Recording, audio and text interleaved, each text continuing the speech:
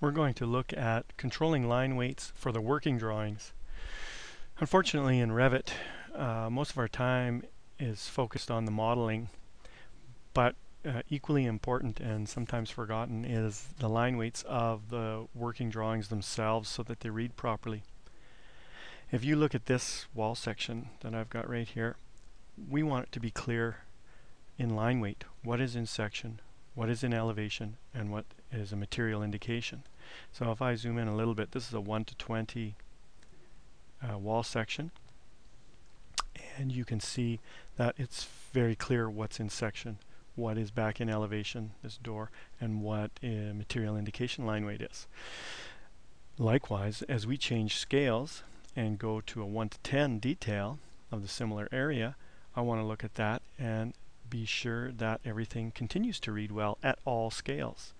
So again, the material indications and lines in elevation are very light. Things in section are very dark, very noticeable. And we can go to an extreme scale of 1 to 5, and we still need those things to read well.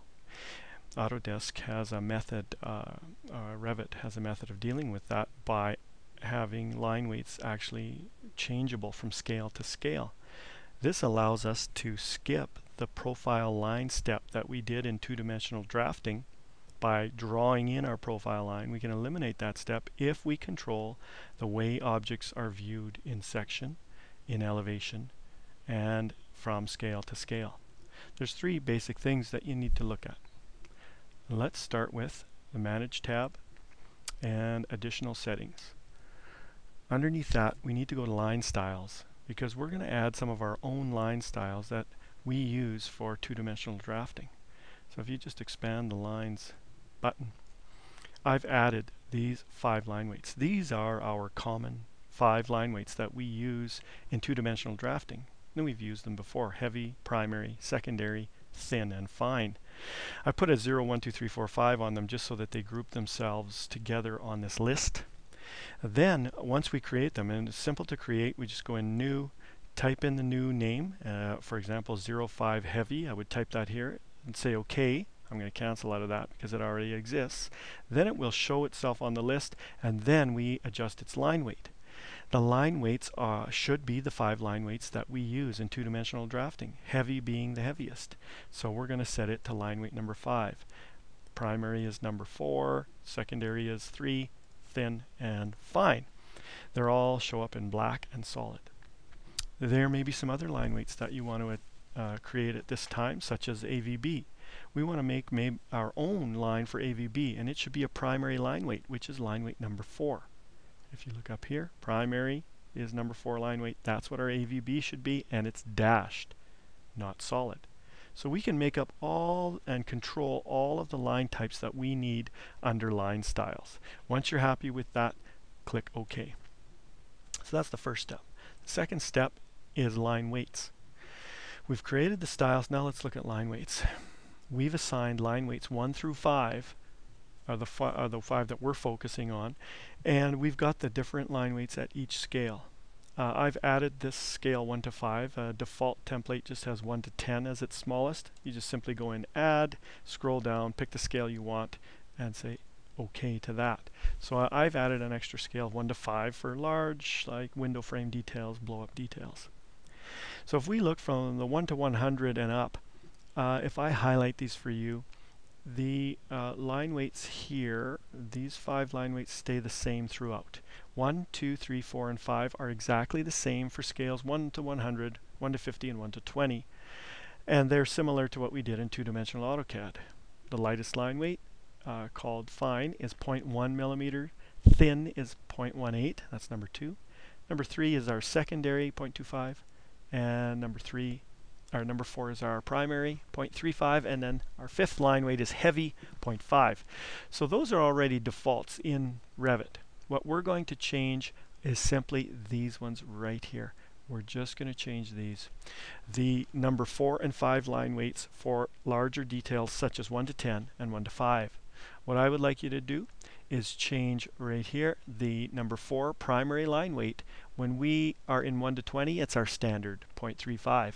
When you switch to a 1 to 10 detail, I want that line to read heavier.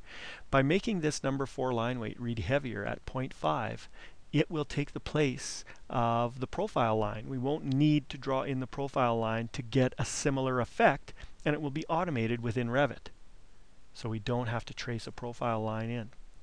Likewise, as we skip up to uh, 1 to 5 scale, which is a very large detail, we need that line to show up even more. So we're going to enhance it by going to a 0.7.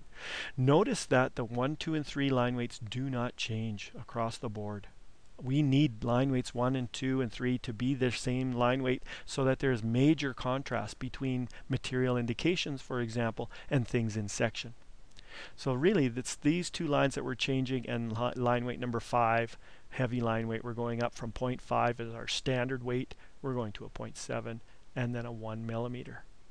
Okay, those are used rarely, but this line weight number 4, profile, or pardon me, primary lines number 4 are for everything in section. Okay, that's really it. If you can adjust those, now we've got uh, control over how our five line weights should print. So once you set that, you say OK to that. Then final item that we need to look at is object styles. Still under Manage tab, look at our object styles. This is where we look at things uh, the way Revit draws them, their components, how they relate when they're uh, a projection line, meaning back in elevation, or when they're cut, meaning in section. So here's an example. Uh, let's go to walls. It's the most obvious, walls and floors. If I go to walls, the wall itself, if it's in projection or elevation, it's a 1. It's a light line weight. I want major contrast. If it's in section, I want it to be line weight number 4. And I just pick a, down the scroll, uh, scroll down the list and pick number 4. That's our primary line weight. And that's the way it should be in a wall section. Anything that's in uh, being cut through is a line weight number four. Common edges, that's when we have a sandwich, multiple pieces in an assembly. Those common edges should be one when they're in elevation and four when they're in section. Hidden lines can be a, a, a thin line weight, that's fine. And the wall sweep or cornice again in elevation one in section four. So you need to go through this list and affect anything that you think uh, you might be using. For example, casework needs to be, again, elevation 1, section number 4. Um, doors, there's a whole bunch of settings there. Anything that is a part of the door that is in section and needs to read, we make sure we put it at a 4. So doors in section can be left this part can be left at a 2 because this is in plan and it's a two-line door, so they might bleed together if we go too heavy. And you can experiment with all of these. But understand that this is where you go to adjust how Revit treats them, whether they're in elevation or in section. Same thing with floors. The floors would be 1 and 4, common edges 1 and 4, always things in section are 4.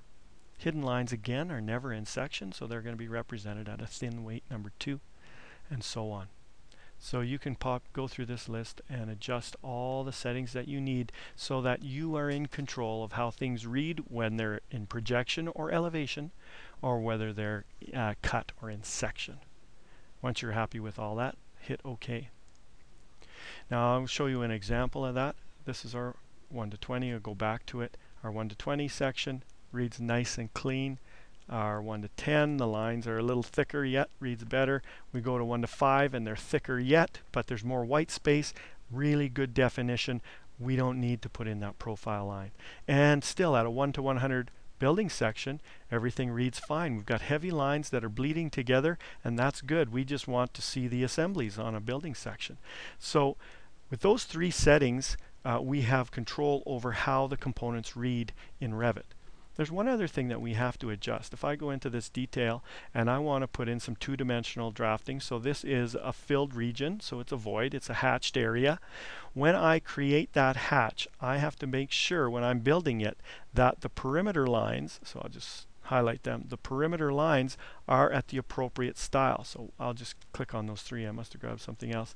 They are all the appropriate line weight. So where is it here? There they are. Those should all be primary. Okay, we're drawing this two-dimensional void form. It's in section, so the perimeter should be primary.